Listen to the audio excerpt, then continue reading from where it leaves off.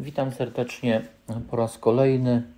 E, witam na stronie jw.org e, i kiedy tylko otworzycie tą stronę, to zaraz e, można przeczytać bardzo ciekawy artykuł Dlaczego polityka tak dzieli ludzi. Dzisiaj żyjemy w takich mm, trochę dziwnych czasach.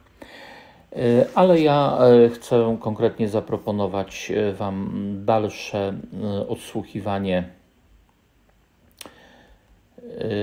wstępów do ksiąg biblijnych, tak byśmy mogli ją przerobić całkowicie. Więc schodzimy na sam dół strony, pomoce do studium Biblii i filmy wprowadzające do księg biblijnych.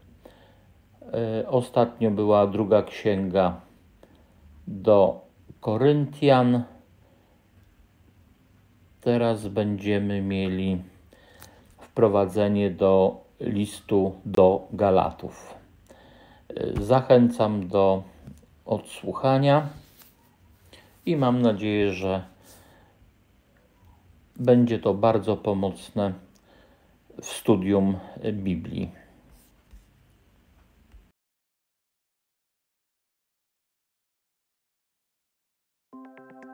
Wprowadzenie do listu do Galatów.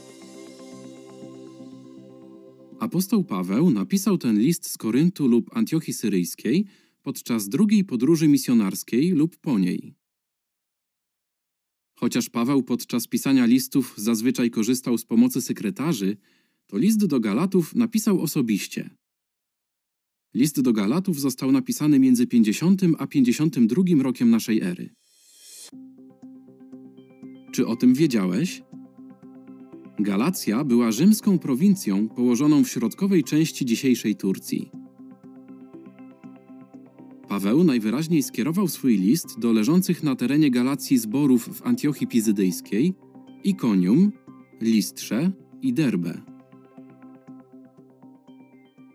W liście do Galatów Paweł przeciwstawił się fałszywym nauczycielom, którzy twierdzili, że naśladowcy Chrystusa muszą przestrzegać prawa mojżeszowego. List do Galatów zawiera sześć rozdziałów. W rozdziale pierwszym Paweł opisuje swoje nawrócenie, jak z wyznawcy judaizmu stał się chrześcijaninem. Przypomina Galatom, że to, czego ich nauczał, otrzymał dzięki objawieniu od Jezusa Chrystusa i że powinni trzymać się tych nauk. W rozdziałach drugim i trzecim Paweł wyjaśnia, że człowiek nie może zostać uznany za prawego na podstawie uczynków wymaganych przez prawo. Prawo nazywa opiekunem, który prowadził ludzi do Chrystusa. Żeby zostać uznanym za prawego, trzeba przejawiać wiarę w Jezusa. Paweł utożsamia duchowe potomstwo Abrahama z Chrystusem i jego współdziedzicami. Jednak Galatom zagraża niebezpieczeństwo stania się niewolnikami nauk ludzkich, przed czym Paweł ostrzega w rozdziałach od 4 do 6.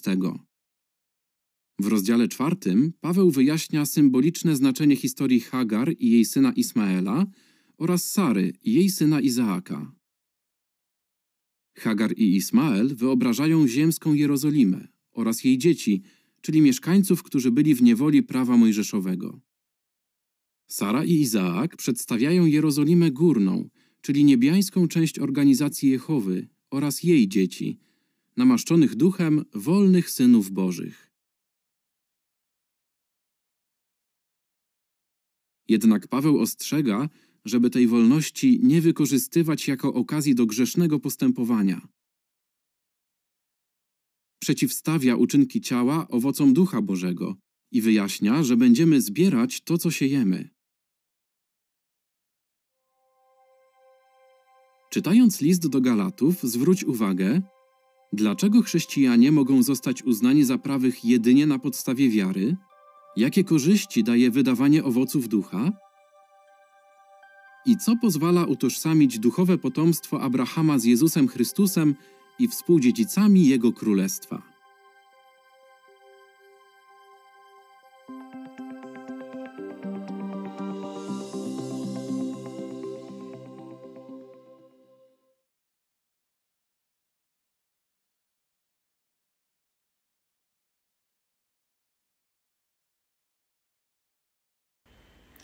Tak, i tym sposobem mamy e, wstęp do kolejnej księgi, Księgi Galatów. Zachęcam do studiowania. Pozdrawiam serdecznie. Cześć.